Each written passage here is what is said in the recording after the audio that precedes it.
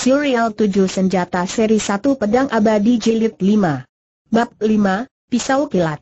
Fang Long siang berkata, tentu saja Bayi Ujing tersenyum dan berkata, jika ku katakan istrinya telah datang dan akan menyerangmu, kau percaya padaku Fang Long siang berkata, aku tidak akan mempercayainya, walaupun mulutnya mengatakan tidak percaya, tapi tak terasa ia pun memalingkan kepalanya. Tangannya juga bergerak, gaetan besi itu menjauh dari tenggorokan Bai Ujing. Di belakangnya, Bai Ujing tiba-tiba berputar ke kiri dan bangkit. Pedang abadi terjatuh di dekat mayat Gong Sun Jing. Ketika dia membalikan badan, tangannya telah menggenggam gagang pedang itu. Tapi saat itulah kekuatannya yang baru terkumpul tiba-tiba lenyap. Ia baru saja melayang sejauh tiga kaki, tapi sedikit demi sedikit turun kembali. Lalu didengarnya suara tawa Fang Long siang yang puas pada dirinya sendiri. Hatinya serasa karam. Karena dia tahu bahwa ini adalah kesempatan terakhirnya. Sekarang kesempatan itu telah hilang dan tak akan pernah datang lagi. Dingin dan lembab. Bai Yeu Jing meringkuk di lantai, seluruh tubuhnya tidak mau bergerak lagi. Tapi gaetan besi itu telah mengangkat pinggangnya dan membalikan tubuhnya. Fang Long siang sedang memandangnya sambil tersenyum. Tersenyum seperti seekor kucing yang mencengkeramkan kukunya pada seekor tikus.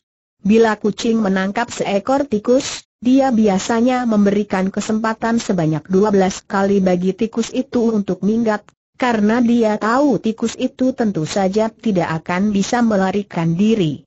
Bai Yeu Jing menghela napas dan berkata, aku tidak menyangka ilmu totokanmu telah banyak maju, seharusnya kita merayakannya. Fang Long siang berkata, sebenarnya saat kau menipuku untuk memalingkan kepala, aku telah memberimu kesempatan untuk mencoba. Bai Yeu Ying berkata, oh, Fang Long siang berkata, kau kira tadi kau benar-benar berhasil menipuku Bai Yeu Jing berkata, jika aku menjadi kau, aku pun tak akan sanggup mencegah diriku untuk berpaling. Fang Long siang berkata, tapi sebenarnya aku tidak perlu melakukannya. Bai Yeu Jing berkata, oh, Fang Long siang tersenyum dengan gembira dan berkata, karena aku tahu bahwa istri Gong Sun Jing telah mati. Bai Yeu Jing berkata, kau, kau tadi telah membunuhnya Fang Long siang berkata, aku tidak suka membiarkan orang hidup di belakangku, karena itu walaupun saat ini aku membutuhkan seorang perempuan,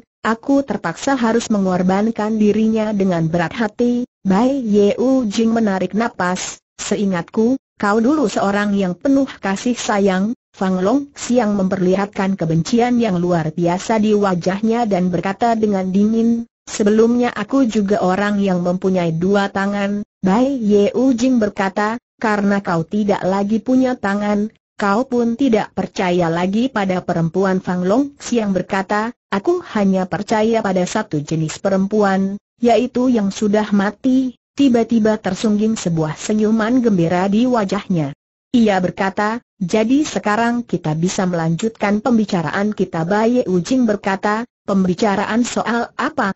Bulu merak Fang Long siang mengangguk dan berkata, menurut kabar, ada 360 macam senjata rahasia di dunia ini, tapi bulu merak dapat dipastikan sebagai senjata yang paling berhasil dan paling menakutkan. Bai Yeu Jing berkata, aku mengakui hal itu, soal ini memang tidak bisa dibantah oleh siapa pun. Menurut cerita, bila senjata rahasia ini dilontarkan, dia terlihat indah seperti seekor burung merak yang mengembangkan ekornya.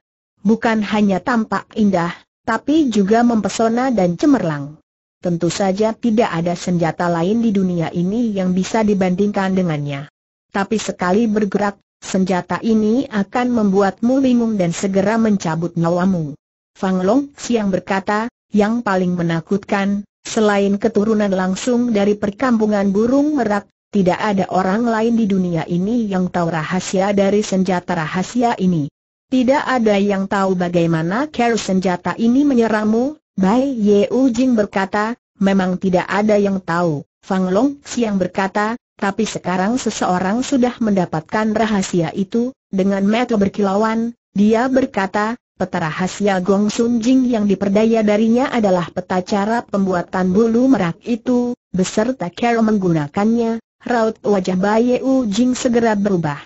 Dia berkata, bagaimana peta ini bisa jatuh ke tangannya Fang Long Siang tersenyum dan berkata, jika perkumpulan naga hijau ingin memperoleh sesuatu, mereka biasanya punya banyak cara. Bai Ye Jing berkata, apakah peta itu dicuri dari perkampungan burung merak Fang Long Siang berkata, mungkin, dia tidak membiarkan Bai Ye Jing bertanya lagi tentang hal itu.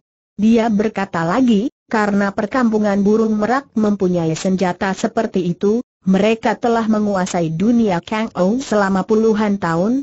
Tidak ada yang berani menentang mereka, bahkan perkumpulan naga hijau tidak mau mencari gara-gara dengan mereka. Bai Ye Jing berkata, aku tahu perkumpulan naga hijau sudah lama merasa tidak puas dengan perkampungan burung merak. Fang Long Siang berkata, tapi jika yang lain juga bisa membuat bulu merak itu, kekuasaan dan pengaruh perkampungan burung merak akan berkurang secara drastis.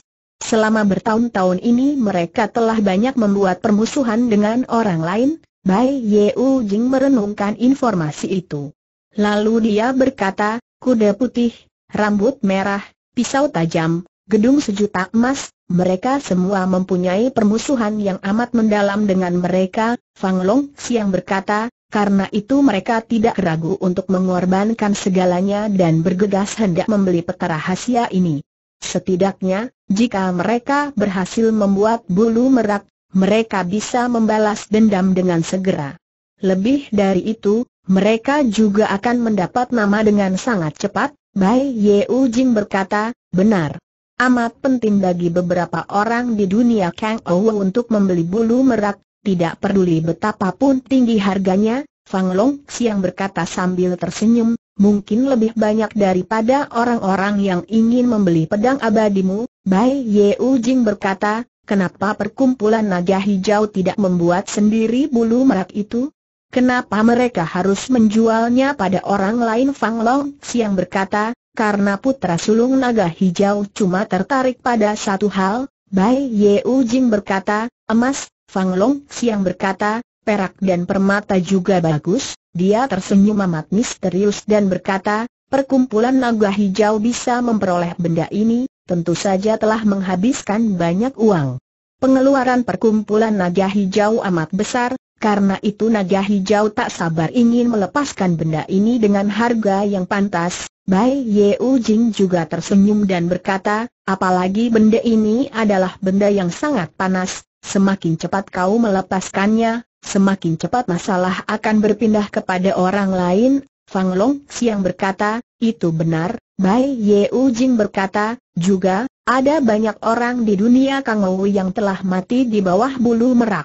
Jika kau membunuhnya dengan bulu merak, anggota keluarganya tentu juga ingin membalas dendam terhadap bulu merak. Fang Long Siang memperlihat penghargaannya atas analisa ini dan berkata, itu tentu saja tak bisa dihindari, Bai Ye Jing berkata, urusan seperti ini akan menyebabkan huru hara di dunia Kang Ou. Bila Kang Ou semakin kacau, perkumpulan naga hijau bisa mengail di air keruh untuk mendapat kesempatan lebih besar. Dia menghela napas dan berkata, putra sulung naga hijau kalian benar-benar orang yang berbakat. Semua orang tak punya pilihan kecuali harus mengaguminya, termasuk aku, Fang Long Siang tertawa dan berkata, aku tidak menyangka kau juga akan mengakui hal ini, aku juga mengagumimu, Bai Ye Jing berkata pula dengan enteng, jika aku punya benda seperti itu di tanganku, setidaknya aku tak akan terperdaya oleh siapa pun, Fang Long Siang berkata, Gong Sun Jing adalah orang yang cakap. Dia mempunyai pengalaman menangani hal ini. Dia juga orang ternama di perkumpulan naga hijau, jadi sayang sekali kalau ternyata dia juga punya masalah yang sama denganmu. Bai Ye Jing berkata, dia juga suka berdosa Fang Long Siang tersenyum dan berkata, dia bernafsu besar, bahkan lebih bernafsu darimu. Dia juga seperti dirimu, dia menyukai gadis Yuan itu, dia menghela napas dan berkata, dia benar-benar perempuan yang tahu bagaimana cara menipu laki-laki. Laki-laki yang bertemu dengannya, jika dia tidak menggantung diri sendiri, mungkin sebaiknya dia terjun saja ke sungai, wajah Baye Ujing memperlihatkan perasaan yang menderita. Dia tersenyum getir dan berkata, untunglah aku tidak sampai menggantung diri, juga tidak terjun ke sungai, karena aku punya seorang sahabat baik yang mau menjagaku, wajah Fang Long siang tidak memerah. Dia tetap tersenyum dan berkata, karena itu aku selalu berkata bahwa nasibmu memang bagus, dia melanjutkan perkataannya, bagaimana gadis Yuan itu bisa mencuri benda itu, sampai sekarang aku juga tidak jelas. Kecurigaanku adalah bahwa suatu waktu dia telah membuat Gong Sun Jing teramat letih, membuat cetakan kuncinya, lalu membuat kuncinya. Kemudian dia menyuap orang yang menjaga lorong itu untuk mencurinya, Bai Ye Jing berkata, dugaanmu sangat beralasan, Fang Long Siang berkata, setelah memperhitungkan segalanya dengan akurat, Gong Sun Jing tentu berhasil melacak jejaknya. Tapi dia telah diperdaya di bawah hidungnya sendiri. Dia sendiri tidak bisa lolos dari kejahatan itu, tentu saja dia tidak bisa mengungkapkan urusan ini pada siapa pun, dia menghela napas dan berkata, gadis Yuan ini agaknya telah mempertimbangkan segalanya. Sayangnya dia telah melupakan satu hal, Bai Ye Jing berkata, Oh Fang Long Siang berkata, dia lupa kalau naga hijau bisa membuat siapa pun bicara, asalkan orang itu belum mati. Bai Ye Jing berkata, apakah penjaga itu telah mengatakan keberadaannya Fang Long Siang mengangguk dan berkata, dia telah menyuap dua orang penjaga. Saat pergantian petugas jaga, dia menyelinap ke ruang rahasia bawah tanah dengan kunci duplikat itu, mencuri peta bulu merak, dan kemudian pergi ketika mereka berganti petugas jaga lagi. Bai Ye Jing berkata, kenapa dia tidak membunuh kedua penjaga itu untuk menutup mulut mereka Fang Long Siang berkata, karena dia khawatir akan mengejutkan yang lainnya, karena ilmu kungfunya tidak begitu tinggi, dan karena dia tidak punya waktu yang cukup banyak, dia pun tersenyum dan berkata, karena itu, jika kau pikir hatinya tidak cukup keji, kau keliru, Bai Ye Jing berkata, aku melihat orangnya, dan sering kali salah menebak sifatnya. Kalau tidak, Bagaimana mungkin aku bisa menganggapmu sebagai seorang teman baikku Fang Long Siang tidak memperdulikannya dan berkata, naga hijau mempunyai orang-orang yang tersebar di seluruh dunia. Ketika mereka tahu tentang dia, mereka tentu akan dapat menemukan keberadaannya. Bai Ye Jing berkata, tentu saja, Fang Long Siang berkata, Gong Sun Jing tentu saja tidak mau begitu saja menyerah pada nasib. Dia ingin mendapatkan kembali benda itu. Tapi dia juga amat paham tentang cara-cara naga hijau menangani anggotanya yang bersalah. Bai Ye Jing berkata, karena itulah dia menyamar sebagai orang mati dan bersembunyi di dalam peti mati. Fang Long Siang berkata sambil menyeringai, dia mengira Care ini amat cerdik dan sangat aman. Tapi dia tidak pernah menyangka, ketika dia membeli peti mati itu, Toko tersebut juga milik perkumpulan naga hijau, Bai Yeu Jing menghela napas dan berkata, perkumpulan naga hijau memang sangat memperhatikan segala sesuatunya. Begitu kau memasuki perkumpulan naga hijau, mereka telah mempersiapkan segala hal yang harus dilakukan setelah kematianmu, Fang Long Siang berkata dengan enteng, Cara mati seperti itu setidaknya masih lebih baik daripada dilemparkan sebagai makanan anjing, Bai Ye Jing berkata, kedua biksu itu, mereka telah menjadi makanan anjing Fang Long Siang berkata, kedua biksu itu tentu saja kaki tangannya juga. Mereka menyamar sebagai biksu untuk sampai ke sini, Bai Ye Jing berkata, sayangnya kepala mereka terlalu ringan, pakaiannya terlalu baru, apalagi tatapan mati mereka saat melihat gadis muda, Fang Long Siang berkata, karena samaran mereka bisa terlihat orang dengan jelas, maka jarum beracun lalu digunakan untuk melenyapkan saksi-saksi, tapi juga untuk melemparkan dosa kepada Mia Osaotian. Bai Ye Jing berkata, siapa orangnya yang menggeledah kotak-kotak Nona Yuan itu? Bukan kau Fang Long Siang berkata sambil tersenyum, mengapa aku melakukan hal seperti itu? jika orang lain tidak mendapatkan benda itu, aku pun akan tahu juga, bukan Baye Jing mengangguk dan berkata, jika bukan kau, tentu Seng San atau Zhao Yei Dao. Saat itu hanya mereka yang punya kesempatan, Fang Long siang berkata, sayangnya kau mengirimkan sayur-sayuran dan arak yang enak itu kepada mereka, Bai Yeu Jing berkata, walaupun Gong Sun Jing tidak mau mengambil resiko, tapi dia juga khawatir penundaan yang terlalu lama akan menimbulkan lebih banyak masalah lagi. Karena itu ketika kami semua berada di dalam bangunan itu, dia pun mencari Wan Zixia, Fang Long siang berkata sambil tersenyum, kukira, ketika dia muncul, mulanya dia cuma hendak berdiskusi dengan Yuan Zixia.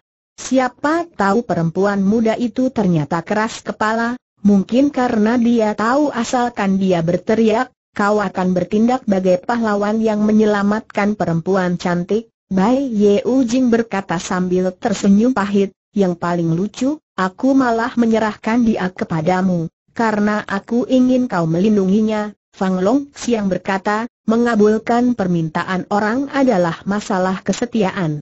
Aku tentu saja bisa melindunginya dengan sangat baik. Bai Ye Jing berkata, sekarang tugas besarmu akhirnya selesai, apalagi yang kau inginkan Fang Long Siang berkata, jasa yang besar ini belum mendapatkan keberhasilan, tapi hampir, Bai Ye Jing berkata, hampir bagaimana Fang Long Siang berkata, peta merak itu masih berada di tangan orang lain, Bai Ye Jing berkata, di tangan siapa Fang Long Siang berkata, kau, Bai Ye Jing berkata, di tanganku wajah Fang Long Siang menjadi muram dan ia berkata, kau tidak mengakuinya Bai Ye Jing menghela napas dan berkata, perempuan. Oh, dia jelas memintaku untuk mati sebelum memberitahukan rahasia ini, siapa tahu dia malah mengungkapkannya terlebih dulu. Fang Long Siang tampak tersenyum puas dan berkata, sudah kukatakan padamu, Perkumpulan naga hijau bisa memaksa siapa pun untuk bicara, meskipun orang mati, apalagi cuma seorang perempuan Baye Jing menarik napas. Jika kau ingin seorang perempuan menyimpan rahasia, mungkin hal itu sama dengan meminta orang mati untuk membuka mulutnya. Fang Long Siang berkata dengan santai, sudah kukatakan, kau hanya punya dua pilihan, Pilihan kedua menjamin lebih banyak kebahagiaan daripada yang pertama, Bai Ye Jing berkata, apa pilihan kedua? Fang Long Siang berkata, bawa peta merak itu ke perkumpulan naga hijau, dan kau akan diberikan posisi yang ditinggalkan Gong Sun Jing di perkumpulan kami, Bai Ye Jing tiba-tiba tersenyum. Fang Long Siang berkata, kenapa kau tersenyum? Bai Ye Jing berkata, aku sedang menertawakan diriku sendiri, Fang Long Siang berkata, menertawakan dirimu. Kenapa Baye Ujing berkata, karena aku hampir mempercayai kata-katamu. Fang Long Siang berkata, kau tidak mempercayainya Baye Ujing berkata, kau jelas sudah tahu bahwa aku mempunyai peta merak itu. Karena kau punya cara untuk memaksaku buka mulut, Kenapa kau mengucapkan kata-kata yang menyenangkan ini untuk menipuku agar merasa gembira? Fang Long Siang berkata, karena kau orang yang berbakat, perkumpulan naga hijau membutuhkan semua orang yang berbakat di dunia ini. Bai Ye Jing bimbang dan berkata, tapi aku tidak percaya, Fang Long Siang berkata, lalu bagaimana caranya supaya kau bisa percaya? Bai Ye Jing berkata, bebaskan aku dulu, lalu akan menyerahkan peta merak itu. Aku tidak akan menipumu, Fang Long Siang tersenyum. Dia berkata, Untunglah tadi kau telah mengingatkanku. Kalau tidak aku pun hampir mempercayaimu, Bai Yeu Jing menghela napas, aku tahu kita tidak akan berhasil membicarakan transaksi ini. Tapi ada suatu urusan yang juga ingin kukatakan padamu, Fang Long Siang berkata, katakan saja, Bai Yeu Jing berkata, jika aku tidak mau bicara, tidak ada orang di dunia ini yang bisa memaksaku buka mulut. Jika aku tidak mengatakan di mana peta merak itu berada, maka tidak ada orang di dunia ini yang bisa menemukannya. Metu Fang Long siang berkilauan. Dia lalu tersenyum dan berkata, malam ini, kau belum pergi ke mana-mana. Jika aku menggeledah tempat ini dengan teliti, kenapa aku tidak bisa menemukannya wajahnya menjadi masam dan ia pun berkata, jika aku harus mencari, aku tentu akan mulai dari tubuhmu, Bai Yeu Jing berkata, silakan kalau begitu, Fang Long siang menatapnya, matanya seperti mata seekor rubah yang sedang memburu anjing. Mata Bai Yeu Jing melirik ke sekelilingnya, menghindari kontak dengan mata lawan. Seolah-olah dia khawatir kalau matanya akan mengungkapkan rahasianya. Di kamar itu terdapat banyak barang. Dia memandang semuanya, pada lukisan yang tergantung di dinding, pada lilin putih di atas meja, pada peti mati dan pada mayat di dalam peti. Dia tidak memandang pedangnya. Dia tidak memasukkan pedang itu dalam pengamatannya ke sekeliling tempat itu.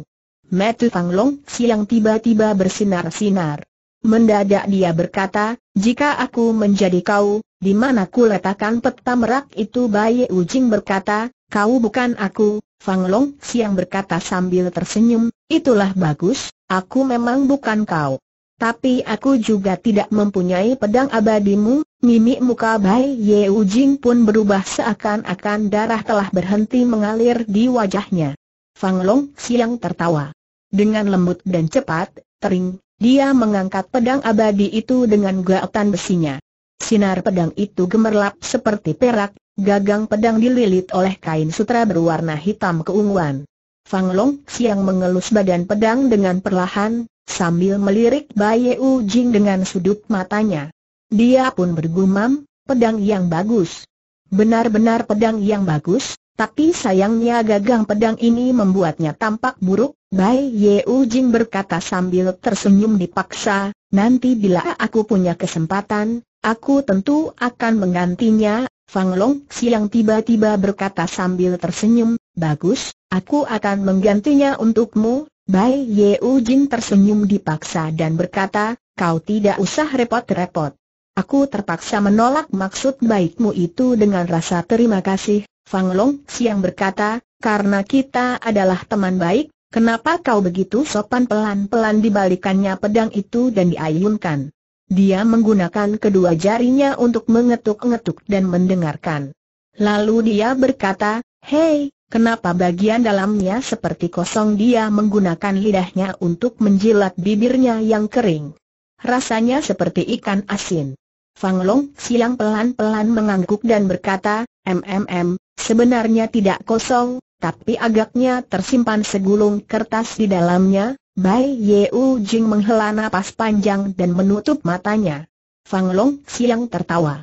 Dia menepuk-nepuk gagang pedang itu dan memutarnya dengan ketiga jarinya, gagang pedang itu benar-benar kosong karena bisa dibuka dengan putaran tersebut. Cuma rahasia di dalam gagang pedang itu bukanlah segulung kertas, tapi puluhan batang jarum. Jarum beracun Niumangpan. Sambil berbunyi sing, puluhan jarum beracun Niumangpan telah menancap di wajah dan mata Fang Long Xiang. Dia segera menutup wajahnya dengan tangannya dan meraung-raung dengan keras seperti orang gila. Dia lalu menubruk ke arah Baye Ujing, seolah-olah ingin mati bersama Baye Ujing. Tapi begitu terjatuh, dia tidak bisa bergerak lagi. Gaetan besi di tangannya telah merobek wajahnya sendiri dan merusak raut mukanya. Hawa terasa dingin dan lembab. Tapi tampak seberkas cahaya yang menerobos lewat jendela. Malam yang panjang akhirnya berlalu. Bai Yeu Jin tergeletak di dalam kamar, di mana dia bisa merasakan darah Fang Long siang yang mengalir dari wajahnya. Darah itu telah membasahi baju atas dan bawahnya. Di dalam hatinya timbul perasaan berduka. Orang ini selalu menjadi sahabatnya. Jika ada pilihan lain, dia tidak akan melakukan apa yang barusan telah terjadi. Tapi dia tahu tidak ada pilihan lainnya. Walaupun dia menyerahkan peta merak itu, Xiao Feng tentu tidak akan melepaskannya. Apalagi, dia memang belum pernah melihat peta merak yang ajaib itu. Xiao Feng tentu saja tidak akan melepaskannya, karena mereka dulunya bersahabat. Jika kau mengkhianati sahabatmu, kau tidak bakalan bisa melepaskannya karena kau tidak akan punya muka untuk mengucapkan selamat tinggal padanya. Jendela dan pintu semuanya masih tertutup. kokok ayam jantan sayup-sayup terdengar dari kejauhan, sinar matahari pelan-pelan menerobos masuk lewat jendela. Di luar pintu gebang, mendadak terdengar bunyi langkah kaki orang banyak. Bai Yeu Jing menghela napas dalam hatinya, akhirnya mereka datang juga, dia tahu bahwa jerit kesakitan Xiao Fang tadi tentu akan mengundang semua orang datang ke sini.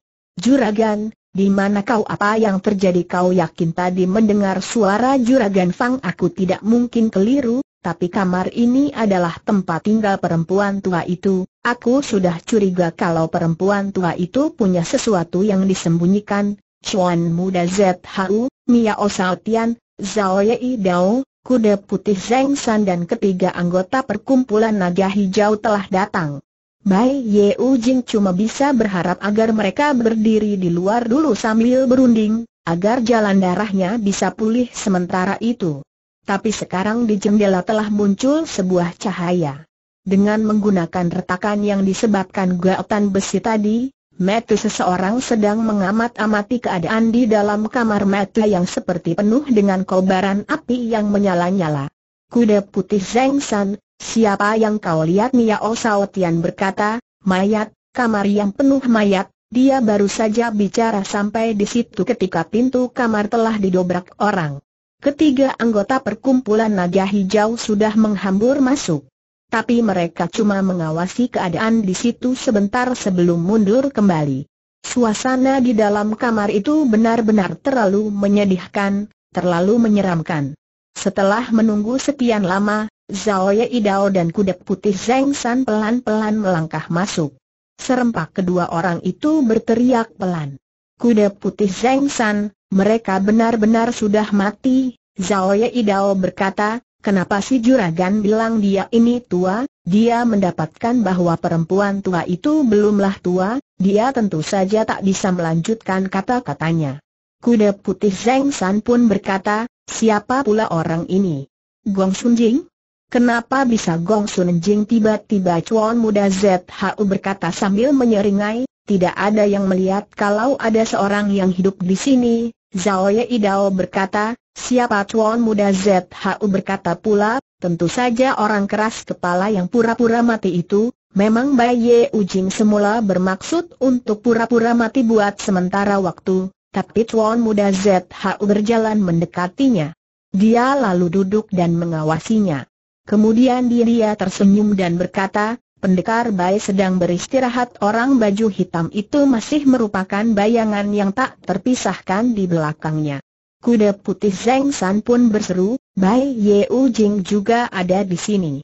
Dia benar-benar belum mati, Chuan muda ZHU berkata dengan santai, kalian lupa kalau pendekar Bai adalah dewa, kuda putih Zeng San menggunakan sudut matanya untuk melirik Zhao Yei Dao. Lalu dia berkata dengan dingin, Sebenarnya aku tidak tahu apakah sakit kepalanya tiba-tiba kambuh Zhao Idao berkata, kurasa memang kambuh. Mari kita sembuhkan, Bai Yeu Jing membuka matanya.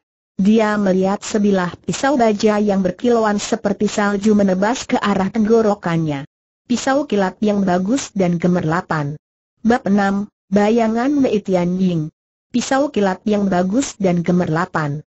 Pisau baja sedingin es itu meluncur dengan cepat ke arah tenggorokan Baye Ujing. Tiba-tiba dia hanya bisa memandangnya tanpa berkedip. Tapi pisau itu tidak menebas tenggorokannya. Pisau baja itu tiba di tenggorokan dan mendadak berhenti. Zhao Idao menatapnya.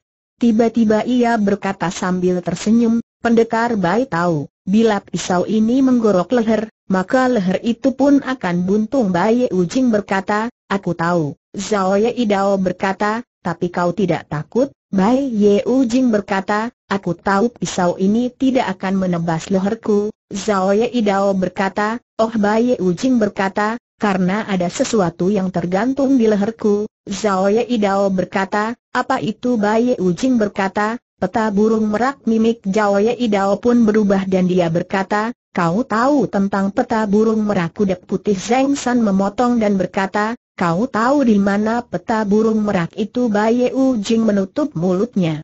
Wajah Zhao Idawar menjadi gelap dan dia berkata, kenapa kau tidak buka mulut Tuan Muda ZHU berkata, jika ada sebilah pisau di leherku, aku juga tidak akan mampu berkata apa-apa. Zhao Idao tertawa dan dengan bunyi seret, pisau itu telah masuk ke dalam sarung.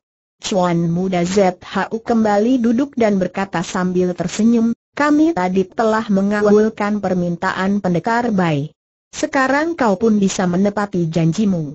Asal pendekar Bai membantu kami menemukan peta merak itu, kami akan membebaskan pendekar bayi dengan segera, kau bahkan boleh membawa emas permata yang tak ternilai itu untuk dinikmati seumur hidupmu. Bai Yeu Jin tersenyum dan berkata, majikan gedung sejuta emas benar-benar tahu cara bicara menurut aturan, Chuan Muda ZHU berkata pula, aku seorang pedagang.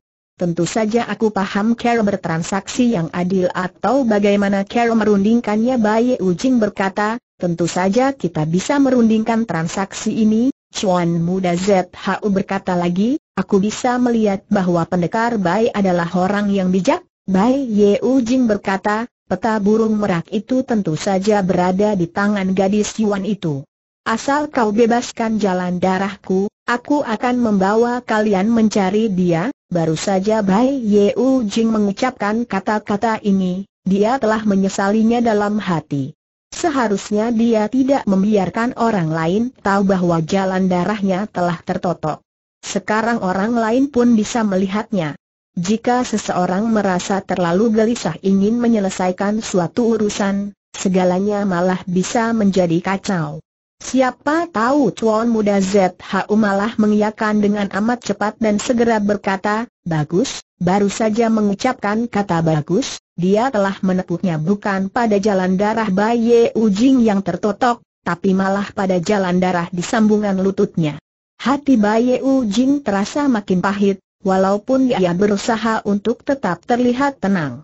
Dia berkata dengan enteng, mungkin kau tidak menginginkan peta merak itu Tuan Muda ZHU tersenyum lirih dan berkata, tentu saja aku menginginkannya.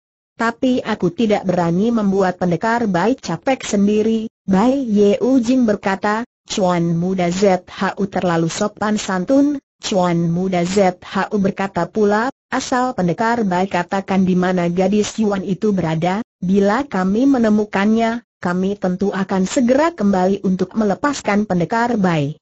Dengan demikian, kami tidak akan membuat lelah pendekar baik yang terhormat, Bai Yeu Jing berkata, bagus, care ini memang amat bagus, Zhao Ye Idao tak tahan untuk tidak memotong dan berkata, kau sudah memikirkannya, kenapa kau tidak mengatakannya saja? Bai Yeu Jing berkata, cuma sayang, walaupun aku tahu di mana dia berada, aku tidak bisa mengatakannya, Zhao Ye Idao berkata, kenapa tidak? Bai Yeu Jing berkata, aku lupa nama tempat itu, Chuan Muda ZHU menghela napas dan berkata, teman-teman, adakah yang bisa membuat pendekar Bai mengingat nama tempat itu? Miao Saotian berkata dengan dingin, aku, tiba-tiba dia menerobos lewat, tangannya menyusup masuk ke dalam kantung kain tunik di pinggangnya.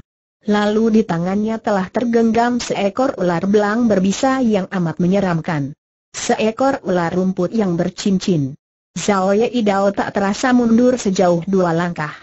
Miao Sao Tian berkata sambil menyeringai, daging ular amat bergizi, jika pendekar Bai menelan ular ini, ingatanmu pun bisa membaik. Tangannya tiba-tiba terulur ke arah Bai Ujing, lidah ular yang merah sudah hampir menyentuh hidung Bai Ujing. Bai Ujing merasa urat-urat di wajahnya pelan-pelan menegang, keringat dingin membasahi telapak tangannya. Mendadak terdengar suara yang amat merdu di halaman. Suara itu berkata, apakah semua orang sedang mencariku pagi baru saja tiba, kabut masih berputar-putar seperti angin di halaman sana. Kabut itu membentuk sebuah tirai kabut yang indah dengan bunga Fuji di atasnya Yuan siap berdiri di bawah bunga Fuji, berdiri tegak dalam kabut yang pekat. Dia menggenggam sebatang lilin di tangannya. Dia bahkan tampak lebih cantik, sejenis kecantikan lembut yang mengandung hawa gaib, sehingga bunga Fuji di dekatnya pun seperti kehilangan warnanya. Miao Sao Tian dan kuda putih Zeng San hendak memburu ke arahnya.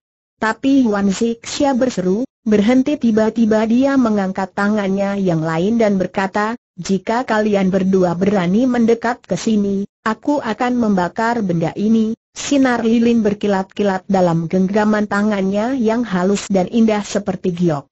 Dia mengangkat sehelai kertas tinggi-tinggi, memisahkannya dari lilin hanya sejarak setengah kaki. Miao Saotian dan kuda putih Zeng San segera berhenti, sorot mata mereka tak bisa menyembunyikan perasaan serakahnya. Kuda putih Zeng San tersenyum dipaksa dan berkata, Nona seharusnya tahu bahwa benda itu sama nilainya dengan segudang emas. Kau tentu tidak akan membakarnya, Yuan Zixia berkata, aku tentu saja tahu. Tapi jika aku mati, apa gunanya segudang emas Miao Saotian dan kuda putih Zeng San saling berpandangan dan pelan-pelan menarik diri. Chuan muda ZHU melangkah maju, membungkukkan tubuhnya dalam-dalam dan berkata, jejak nona yang harum telah menghilang dengan tiba-tiba, membuat semua orang merasa gelisah. Tak disangka-sangka kalau nona ternyata kembali ke sini, Yuan Zixia berkata dengan gaya memikat, baik sekali kalau ternyata Chuan selalu memperhatikan aku, Chuan muda ZHU berkata pula, terima kasih atas pujianmu, Yuan Zixia berkata, ku dengar tuan muda ZHU bukan hanya seorang jutawan muda, juga lemah lembut dan sopan santun. Hari ini aku bisa melihat sendiri bahwa nama itu memang tidak kosong, Chuan muda ZHU berkata, aku juga telah mendengar bahwa Nona adalah seorang gadis yang cantik bagaikan bidadari. Hari ini aku bisa melihatnya sendiri, aku merasa amat terhormat. Miao Sao Tian tak dapat menahan seringainya dan berkata, di sini bukan ruang tamu gedung sejuta emas, di mana orang bisa bicara omong kosong Yuan Zixia berkata sambil tersenyum, ketua Miao tidak paham, yang paling suka didengarkan oleh perempuan adalah pujian yang manis. Jika kalian ingin melunakkan hatiku, seharusnya kalian lebih banyak mengatakan kata-kata pujian, Miao Saotian membelalakan matanya dan berkata, Kenapa aku ingin melunakkan hatimu Yuan Zixia berkata dengan santai, karena jika hatiku sudah lunak, mungkin aku bisa memberimu benda ini. Chuan muda ZHU tiba-tiba berseru, itu tidak baik, tidak baik. Benda ini tidak didapatkan oleh Nona dengan mudah, Bagaimana kau bisa memberikannya begitu saja kepada kami Wan Zixia tersenyum manis dan berkata, semula aku berpikir begitu, tapi sekarang jalan pikiranku amat berbeda, Chuan muda ZHU berkata, Oh Yuan Zixia berkata, aku hanya seorang perempuan yang kesepian dan terlantar. Jika aku membawa-bawa benda ini, cepat atau lambat, suatu hari nanti aku pun akan mati di tangan orang lain, Chuan muda ZHU menarik napas, tampaknya dia sangat bersimpati, dan berkata, di dunia Kang Ou, setiap langkah demi langkah bisa merupakan jalan yang sempit dan berbahaya. Nona memang harus sangat berhati-hati, Yuan Zixia berkata, tapi jika aku telah menyerahkan benda ini, maka tidak ada lagi orang yang akan mencari Tuan muda ZHU berusaha menyembunyikan kegembiraan di wajahnya dan berkata, tentu saja begitu. Tapi jika Nona ingin memberikan benda itu, tentu harganya pun harus sesuai, Yuan Zixia mengedip-ngedipkan matanya dan terbelalak. Dia berkata, kalau begitu, menurut Tuan muda ZHU, Berapa yang seharusnya ku terima Tuan Muda ZHU berkata, setidaknya cukup bagi seorang gadis untuk menikmati kekayaan seumur hidupnya. Lagi pula, imbalan itu harus berupa emas dan permata, bukan yang lainnya. Yuan Zixia menghela napas dan berkata, aku juga berpikir begitu, tapi, kekayaan yang begitu besar, siapa yang bersedia memberikannya padaku Miao Sao Tian tiba-tiba tertawa dengan keras, Asal kau memberi izin, setiap orang di sini akan bersedia memberikannya kepadamu. Yuan Zixia berkata dengan sangat gembira, bagus sekali, cuma, Miao Saotian segera bertanya, cuma kenapa Yuan Zixia berkata, di dalam sana juga ada seorang temanku, bolehkah aku melihatnya dulu tiba-tiba tak seorang pun yang bicara lagi, tidak ada yang mau menerima tanggung jawab itu. Yuan Zixia menghela napas, tanganku lelah mengangkatnya, jika tidak hati-hati, dan benda ini terbakar, apa yang akan terjadi? Walaupun cuma terbakar sedikit, tentu akan berabe, Chuan muda ZHU mendadak tersenyum dan berkata, karena pendekar Bai adalah teman Nona, Nona tentu mengkhawatirkannya. Ini sungguh bisa dipahami. Nona, silakan, Yuan Zixia menggelengkan kepalanya dan berkata, itu tidak baik, aku tidak berani, Chuan muda ZHU berkata, mengapa Yuan Zixia berkata, di sana terlalu banyak berdiri orang laki-laki yang bertubuh besar. Aku sangat takut, Chuan muda ZHU berkata pula, Nona ingin kami pergi. Yuan Zixia berkata, jika kalian bisa mundur ke samping, barulah aku berani, Chuan muda ZHU berkata, Lalu Yuan Zixia memonyongkan bibirnya dan berkata sambil tersenyum, di luar sini ada begitu banyak orang, apa yang bisa ku perbuat dengannya? Aku hanya ingin menyampaikan dua patah kata, dan kemudian aku akan keluar dan menyerahkan benda ini. Sementara itu, kalian bisa merundingkan dulu siapa yang akan menerima benda ini, Chuan muda ZHU memandang Zhao Yei Dao, Zhao Yei Dao memandang kuda putih Zeng San Kuda putih Zeng San tiba-tiba berkata, akan kutanya dia dulu apakah dia mau bertemu denganmu, dia tidak menunggu yang lain menjawab, dan segera melesat ke dalam kamar.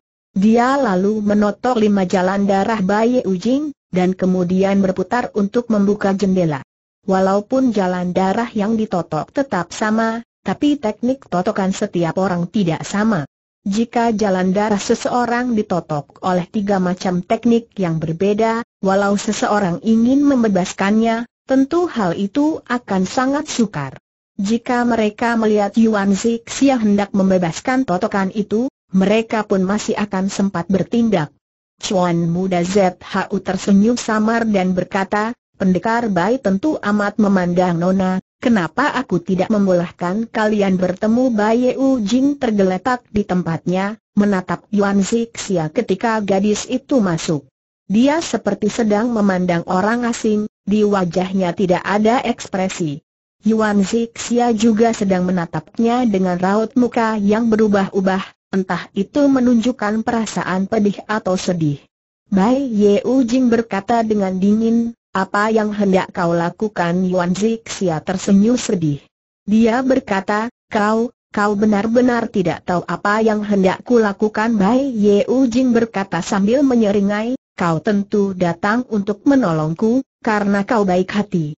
Kau punya maksud baik yang sama dengan Fang Long Siang, kalian semua adalah teman baikku, Yuan Zixia menundukkan kepalanya dan berkata, aku bisa saja menyelinap pergi dengan diam-diam. Jika aku tidak peduli denganmu, kenapa aku harus datang matanya tampak merah, air mata pelan-pelan jatuh membasahi pipinya. Tiba-tiba seorang anggota perkumpulan naga hijau di luar berkata dengan keras, benda ini semula adalah milik perkumpulan naga hijau, wajar kalau benda ini harus dikembalikan pada perkumpulan naga hijau. Chuan muda ZHU dan ketua Zhao tadi telah menyetujuinya, Walaupun kelopak mata Yuan Zixia dipenuhi air mata, tapi sudut mulutnya mulai memperlihatkan ekspresi gembira. Angin berhembus makin kencang. Anting-anting emas yang besar milik Miao Saotian berbunyi ting-teng, kedua matanya membara seperti api yang ditujukan ke arah tiga orang anggota perkumpulan naga hijau. Zhao Idao berbaring di pojok sana, seolah-olah tidak peduli dengan urusan itu tapi dia tidak pernah berhenti mengawasi keadaan. Kuda putih Zeng San menepuk-nepuk pilar bangunan itu dengan jarinya. Dia tidak tahan terhadap kesunyian itu, dan sengaja membuat suara yang gaduh. Orang baju hitam berdiri tak bergerak di belakang tuan muda ZHU. Wajahnya tidak menampilkan ekspresi. Urusan ini memang tidak ada hubungannya dengan dia. Yang dia pedulikan adalah delapan orang anggota keluarga yang menunggunya mencari makan. Orang-orang naga hijau mengepalkan tinju mereka erat-erat, sebelum salah seorang dari mereka tiba-tiba berkata, Chuan muda ZHU tadi mengucapkan kata-kata itu. Biasanya ucapanmu selalu ditepati, kali ini kau tidak bisa menarik kembali kata-katamu itu dan mengingkari janji, Chuan muda ZHU akhirnya tersenyum dan berkata, tentu saja aku tidak bisa, tentu tidak bisa, cuma, cuma apa orang ini bertubuh tinggi besar, dengan jenggot berwarna tembaga. Sekilas pandang, bisa dilihat bahwa dia adalah orang yang amat gampang naik darah. Chuan muda ZHU berkata pula, walaupun aku setuju dengan kalian, tapi yang lain, orang berjenggot naga itu segera memotong, Kata-kata Chuan muda ZHU adalah yang paling efektif dan berpengaruh. Walaupun cuma Chuan muda ZHU yang setuju, saudara-saudaraku dan aku akan merasa lega, Chuan muda ZHU tersenyum dan berkata, asal aku setuju dengan kalian, kalian bertiga benar-benar bisa merasa lega si jenggot naga berkata, tepat Chuan muda ZHU menghela napas dan berkata, bagus, aku berjanji pada kalian, Si jenggot naga menjadi makin gembira. Wajahnya cerah dan dia berkata, untuk ini, perkumpulan naga hijau tidak akan melupakan cuan muda ZHU, tiba-tiba krep, suaranya mendadak terputus. Terdengar suara jeritan yang memilukan. Jeritan itu dikeluarkan oleh teman-temannya, karena sebuah hanting emas tiba-tiba telah menancap di tenggorokannya. Dia tidak melihat darah itu, tapi dia tidak perlu menjerit lagi karena dia sedang menutupi wajahnya. Dan kemudian, darah pelan-pelan mengalir keluar dari lehernya. Dia berdiri di sisi kiri, sementara jeritan-jeritan yang memilukan itu berasal dari orang-orang di sebelah kanannya. Ketika Miao Saotian bertindak, kuda putih Zeng San juga mendadak bergerak. Dia meluncurkan telapak tangannya, menghantam tulang hidung seorang anggota naga hijau lainnya. Darah bercipratan ke mana-mana.